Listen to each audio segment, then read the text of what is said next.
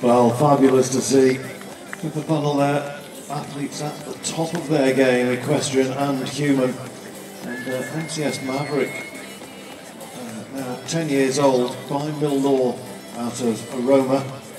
And of course, fresh here from the win at Bramham in the four star long. And in actual fact, in that four star long, just beat Piggy March into second place with Brookfield Cavalier Cruise. And uh, Piggy at the moment uh, is sitting in uh, second place here at Hartpury with uh, Brookfield Cavalier Cruise on 28.1. 25.8 is the lead at the moment, Alex Swatian and uh, van Barrielhoff. So be very interested to see uh, where Pippa comes on the leaderboard.